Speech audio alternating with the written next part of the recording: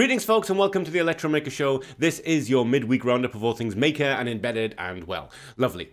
Now, this week's show, we have a, new project from Mitxela. Actually, it's one of his old projects on his YouTube channel. His videos are so few and far between, and they're always amazing. Um, we'll also be talking about the controversy surrounding the Raspberry Pi OS update. It's now pinging home to Microsoft, and a lot of people are very angry. And of course, we will be looking at some things on funding websites and giving a prize away from the mystery box. But for now, let's get on with the show.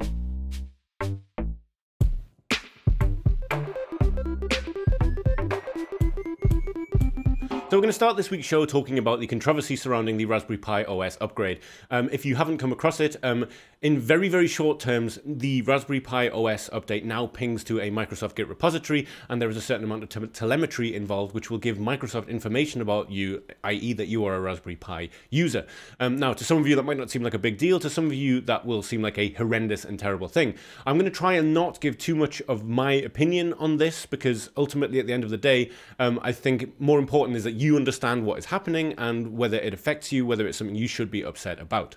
So this Reddit thread on the Linux subreddit is where I first read about this. It's been widely reported since, um, but I realize I've probably already said something false, so I'm just going to read a little bit of this just so you can see exactly where this story came from and make up your own mind about it. Now, um, in a recent update, the Raspberry Pi Foundation installed a Microsoft apt repository on all machines running Raspberry Pi OS, previously known as Raspbian, without the administrator's knowledge. First important point, um, Raspberry Pi OS and Raspbian are two separate projects, so if this is something that really upsets you, please don't get upset with the uh, people who make Raspbian. They're now nothing to do with Raspberry Pi OS. Separate projects, as far as I know, Raspbian is not the same. It's completely safe. Um, officially, it's because they uh, endorse Microsoft's IDE, but you'll get it even if you installed from a light image and use your Pi headless without a GUI. This means that every time you do apt update on your Pi, you are pinging a Microsoft server. Um, now, the, the bit that I am happy uh, to kind of condense down and just say in a single sentence, because I don't think there's any way I can say this all that wrong, is that every time you uh, update your operating system or install your operating system on a new Raspberry Pi, um, a certain amount of information is pinged to a Microsoft server, and so they will know you are using a Raspberry Pi, and therefore can target adverts to you that are to do with the Raspberry Pi. Now, um, some of you might think that's not a big deal whatsoever. Some of you might be absolutely horrified right now. Um, I'm not going to come down on any particular side of the fence about this, but I will point out that I am a, a, creator who uses various operating systems, including Windows and Microsoft. I use VS Code when I'm coding, but by the same token, I am a Linux user and have been for years. I'm the editor of Linux on a uh, website. Uh, uh I understand the FOSS side of things as well. Um, I definitely have a foot in both camps, and I'm not going to be coming down hard on either side. Rather than spend a lot of time on this, I urge you to go and read everything you can about it and make up your own mind about it. If you are, like me, a user of various different devices, and uh, Microsoft has a lot of data about me already, I am not going to stop using Raspberry Pi OS because of this, um, but you might want to, and uh, read everything you can about it, um, because one thing is true, is the way that this was done, the way that this was added to Raspberry Pi OS was definitely a little bit shady. Um, there wasn't really documented. If it hadn't been noticed, I don't think they would have talked about it, and if they're willing to add something to their um, APT repository uh, without telling us you know what else would they add. I completely understand that is a large security issue for some people. Um, we'll definitely be coming back to this as it develops. Raspberry as far as i know the raspberry pi foundation as far as i know haven't said anything about it as yet um, but it's very rare that we cover a sort of news-esque story like this on uh, this show, um, and I hope I did it in a way that neither bored you or made you angry. um, but yeah, um, I'll leave a link to this in the description. I'm very interested to hear what you think about it. Now, moving on to a product that uses the Jetson AGX Xavier module. Now, that is the super high-powered um, single-board computer that NVIDIA have released. Um, if you have used the NVIDIA Jetson Nano, you will be familiar with this. It's just the same, but a lot chunkier and capable of a lot more. So this is the NRU110V or NRU 110 volts, I'm assuming.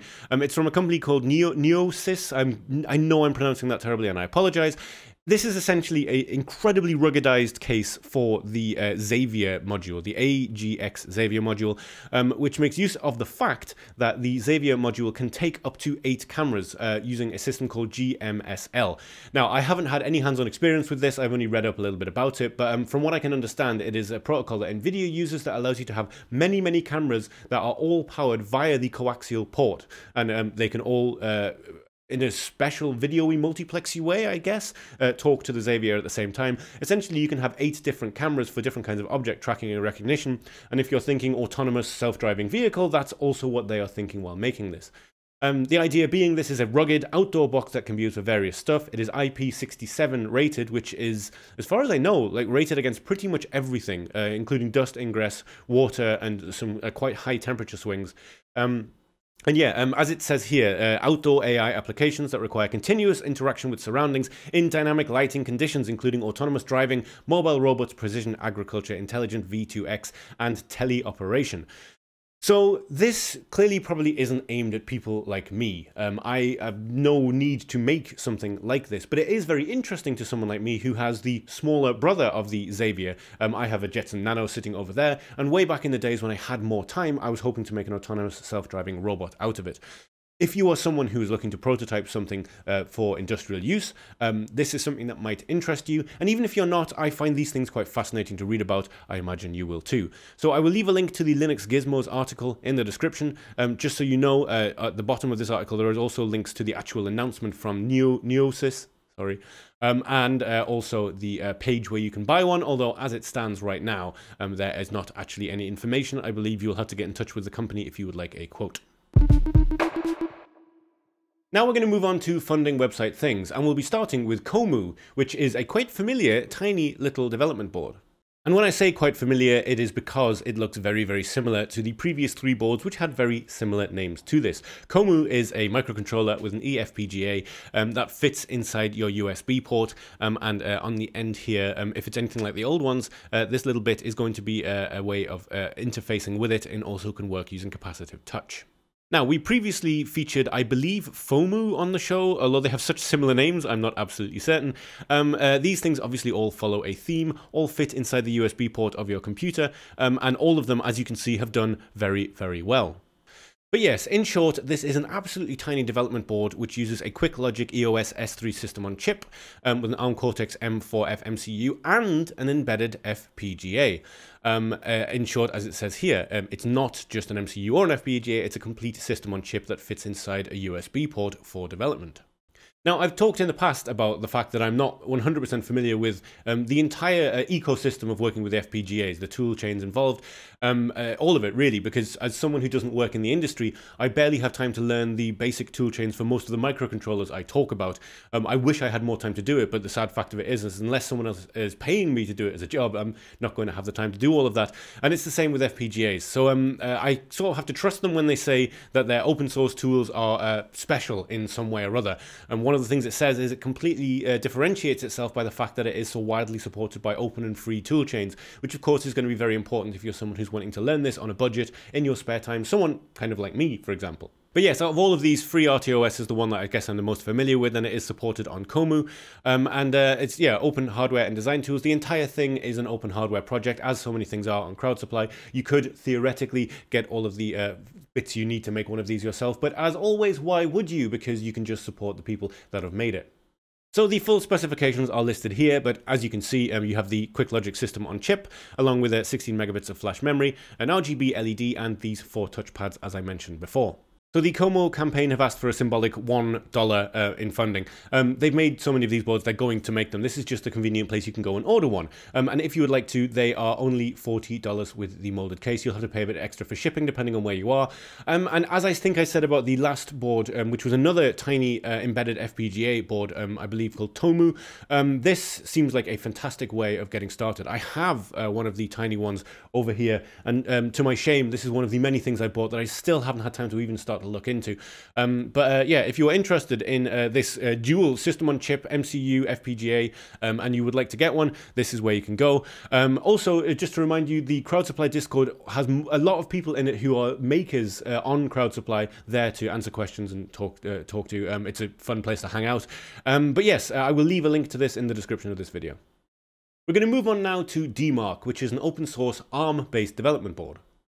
Now, there's a number of things about D-Mark I find interesting. The first being that the uh, inputs and outputs on the board are what they call a curated set of inputs and outputs designed to best leverage the uh, chip, which is an STM32 chip. I think it's the STM32 F070RB, if I remember correctly. Um, and uh, yeah, this curated set of inputs and outputs is designed to mean that you don't need spaghetti everywhere on your desk to learn how to put together the kind of hardware you want to make. Um, that I think is a very nice idea. It's by no means unique, but it is nice that, uh, to have a completely curated board, as they call it. I think curated is a good word for that. The other side to this board that I find utterly fascinating is the fact that they've created their own interpreted language to program it with, meaning that you can program it a little bit like you would MicroPython or some of the embed software stuff, in that you um, you write the software and then you move it onto the SD card and then it will run from the SD card reader. Um, presumably you can do that directly over serial as well. I haven't looked into it that far yet. Um, but yeah, that's the part that I find really, really fascinating. But before we get to that, let's quickly go over this. Um, this is what I was talking about with the curated set of inputs and outputs. Um, uh, there's various things that you will find familiar on this uh, in terms of ports. Um, and uh, this little uh, thing here, in case you were wondering, this is where you can attach a stepper motor driver, which I believe you buy separately. Um, but most of everything that you would need uh, for getting started with various forms of digital and analog inputs and outputs are on the board already. Now, the full list of uh, various inputs and outputs and features of this board can be found here. I'm not going to go through all of them now. Two things I find uh, nice. Uh, one is the uh, wide input variety for voltage. If I remember correctly, it's between 9 and 9 and 24 volts input. That's nice. That means you can work with a variety of voltages. It means you can work with a variety of peripherals that might also need external voltages. I like that. Uh, the second thing is the fact that it has the ATtiny84 uh, microcontroller on it as a bridge between the chip and all of the sensors. Um, so it's pre-programmed to work as a transparent input and output, but of course you can reprogram that yourself. And one of the things they sell is a programmer for that chip. Now, I want to move on from the hardware because what I find the most interesting thing about this is what they are calling the DMSI firmware, D-Mark Script Interpreter. Now, unless I'm being stupid, I can't find all that much information about DMSI, the firmware, but there is a link to uh, their GitHub page here on the uh, crowd supply page, and uh, from there I went through into the documentation and found a uh, schematic and a script reference. And looking at it, it seems like a fascinating idea. The closest analogy I can come to is MicroPython, where you write your code and then you move it onto the board and it is interpreted in real time. Um, as it says here, it's been designed to uh, make the D-Mark controller board run without programming, compiling, and flashing, rather than existing fully fully featured programming language like C and C++ et al.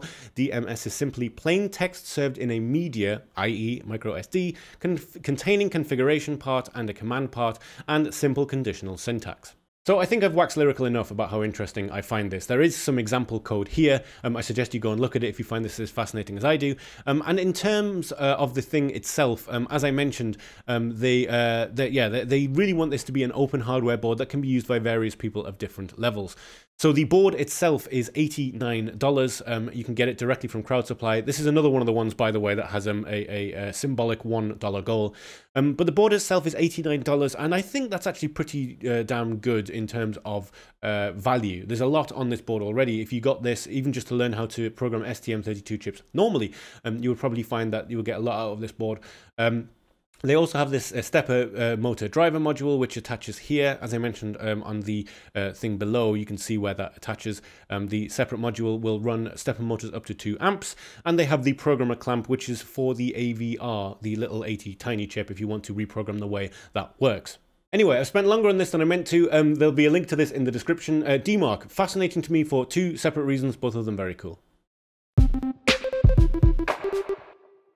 It is time for the mystery box competition, and we now have a mystery box once again. It has been refilled. Now, the first mystery is which of the many boxes is the mystery box. I, I know it's not mystery. I know. Wait, I'll be back. Yes, new mystery box. Um, and in case I've never said this before, um, Mouser provide our mystery box prizes. Thank you very much, Mouser. Um, if I had to give away my own collection, there wouldn't be a collection left, and I couldn't afford to do it. So yeah, thank you very much. Uh, if you ever wondered why we have a box of mystery stuff to give away, it's because Mouser give it to us. Um, now, uh, the mystery box competition. In case you are not familiar with it, uh, I haven't had one for a few weeks, so let's go over it again. This is a box of mystery. It says mystery box on it, um, and inside it there are a mixture of microcontrollers, uh, single board computers, uh, little USB accelerator type sticks. Uh, in the last mystery box, we had some 3D depth sensing camera things. Um, they're the cool prizes that you can win. On the other end of the scale, there are uh, peripherals and things that attach to these things that can be given away that you might not even own. Like there might be a shield for a microcontroller that you don't own, don't know how to get, um, and you might win that as a prize too. Um, the good thing about it is entering this competition is completely free. You just leave a comment on the video that you are watching. If you are watching this week's video, leave a comment, and in next week's video, we will choose someone from the comments at random to win a prize from the mystery box. So, with all that out of the way, let's get the first prize out of this mystery box. So, going for a good rummage. I'm going to start halfway down the box on the side, because as I said, there is one of them I did see at the top, and I don't want to pull it out straight away. Uh, let's see what this is. What are you? SparkFun RFID Starter Kit. Oh, cool. Ah, okay, I think I know what this is. This is the SparkFun version of the popular RFID add-on kits you can get for various microcontrollers. I don't know exactly which one this is based on, however, but... Oh, cool. Oh, no way, this is a USB version. Okay, this is extremely cool. Um, this is a little baseboard that attaches to your computer via USB. Uh, since it's in a little sealed packet, I'm going to leave it so I'm not going to pull it out. Um, but yes, there's a little uh, USB serial chip on there and some uh, little pin headers for attaching this guy, the uh, ID12LA, I was just reading about it, I should have remember that, which fits on top of it, which is an RFID reader. And then in the box here, you also have a couple of cards. Um, and it is incredibly simple. You open up a Minicom or PuTTY or whatever you use to connect to things, connect to it via serial and hold up a card, and it will give you a readout of the unique card ID. This being a SparkFun product, there's a lot of uh, documentation for it as well. In fact, I noticed uh, on the actual page here, um, uh, you can click a link to this video, which is an RFID comparison on the SparkFun YouTube channel, um, which talks about the uh, the protocol, how it works, and uh, tests a few of them. Uh, anyway, this is a very, very cool prize indeed. But yes, we have a prize, and now we need a prize winner. And the winner this week is Al Watt, who left a comment on last week's video about the Arrow Deca 10 development board, um, because it's come down in price so dramatically, mentioning it has better support, uh, unlike the Vidor 4000, which is a board I'm familiar with. However, um, the actual amount of support these boards have is something I'm not so familiar with, but I probably will be soon, because uh, somewhat predictably, with the Deca 10 being so cheap, I have ordered one. Um, but anyway, uh, congratulations, Al. We'll be in touch with you as to how we can get this out to you. Um, as I said before, any comment left on the video uh, will enter you into the mystery box competition. But for now, now, let's get on with the show. We're going to close out this week's show by looking at a few notable projects from this week, beginning with an upgrade to an old original iPod, of course using a Raspberry Pi. This Review Geek article gives a very good rundown of what's happening here. Um, so as you can see from the image, this is an original iPod with what looks like a very original menu, but it's not. Um, the, it's been completely replaced on the inside with a Raspberry Pi Zero and a screen, and it is now a Spotify-powered Bluetooth music player. So as I say, this article will give you a good rundown of it, and I will leave a link to this in the description. Um, but Guy Dupont, who is the maker behind this, has a YouTube channel and a 15-minute video which uh, show showcases uh, how this thing works and how it was built. Um, uh, one thing that is very cool about this um, is the dial that you can see there. Um, some of you may have that nostalgic memory of iPods having that clicking sound when you would move the dial around.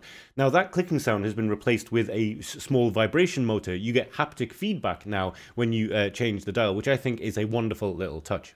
So there's not all that much more for me to say about this project. Go and check out Guy's video. Um, there is also a Hackaday uh, post about it, which goes through it all, um, along with a GitHub uh, page, which has all of the code for it if you want to try and make something like this yourself. Um, but this is just another fantastic example of taking relatively old tech and putting a Raspberry Pi in it to make it do lovely new things. And you all know how much of a fan I am of that.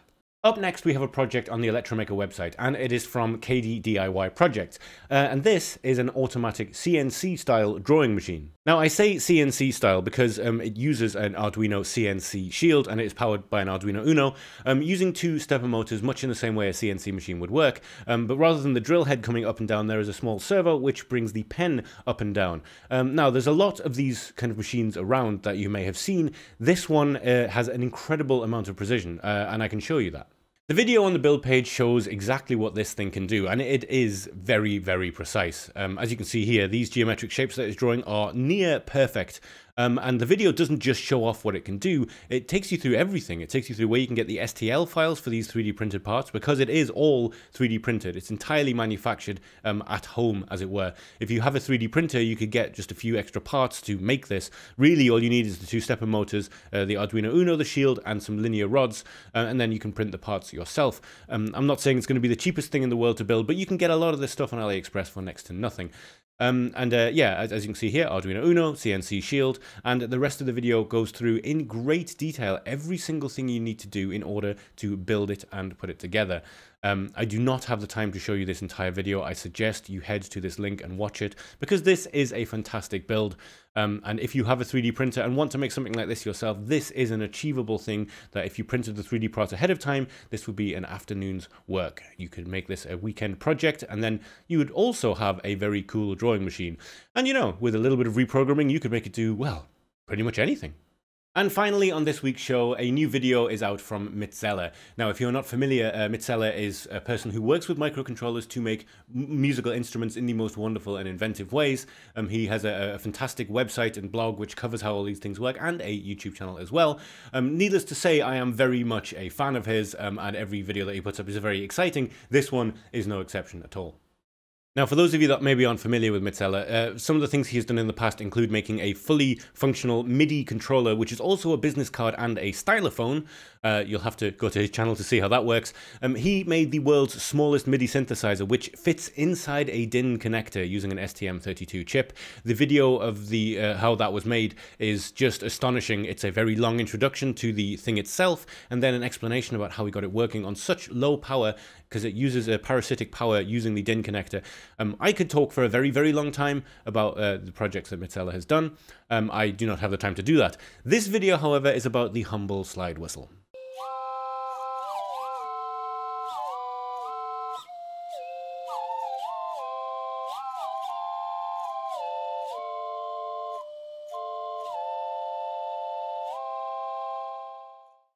So yes, uh, Mitxela has made an automatic slide whistle, um, and as you can see, it uses a couple of servos um, uh, along with a little driver board there. Um, air blows in one end, and there is a baffle to stop the notes. Um, I would rather you go and watch his video than listen to my explanation of it, partially because, um, yeah, it's it's astonishing. Every one of his videos is. If it sounds like I'm gushing a bit, I am. Um, the the level of detail he goes into with this project is something that I find incredibly inspiring, and uh, also a little bit intimidating. Uh, yeah, it, the entire channel is a gold mine. This video is absolutely no exception. This is actually an old project of his. He just forgot to show off. Um, he seems to just be that kind of guy. Uh, so yes, this video uh, explains how it works and also uh, shows off various different ways of playing it. It also shows off one of his other inventions, which is also just an astonishingly wonderful thing. So this is another one of his inventions. Um, this little machine on the right is uh, essentially one of those turning handle machines that makes a tune, uh, like a, a, music box tune, although it's one that takes punch cards. Um, so theoretically you can play any note. Um, but instead of using punch cards, as you can see, he set up a bunch of servos to trigger each one of those notes. Um, he has an entire separate video on that, by the way, which I suggest you watch because it is also marvelous. I, I, yeah, I really, if you take one thing away from this week's show, go to Mitxela's uh, channel and watch this video. Uh, but I do warn you, if you do, be prepared to spend a little bit of time there because you will want to watch all of the rest of them. He does not upload videos all that often, but every time he does, they are uh, inspiring, wild, and uh, yeah, he's the very definition of the uh, eccentric genius inventor, if you ask me. Um, if I sound like I'm being a bit of a fanboy, it's because I absolutely am. So that is our show for this week, folks. Thank you so much for joining me. Uh, the Electromaker show will be back next week, and um, of course, we never manage to fit everything we want to in these shows. We only have a limited amount of time. If we've missed something you thought was amazing that you've seen this week, please do leave it in the comment section below. And also be interested to hear what you guys think of the Raspberry Pi OS controversy situation that's going on right now. But um, as always, I hope you have a productive and safe and healthy week, and I will see you in the next one.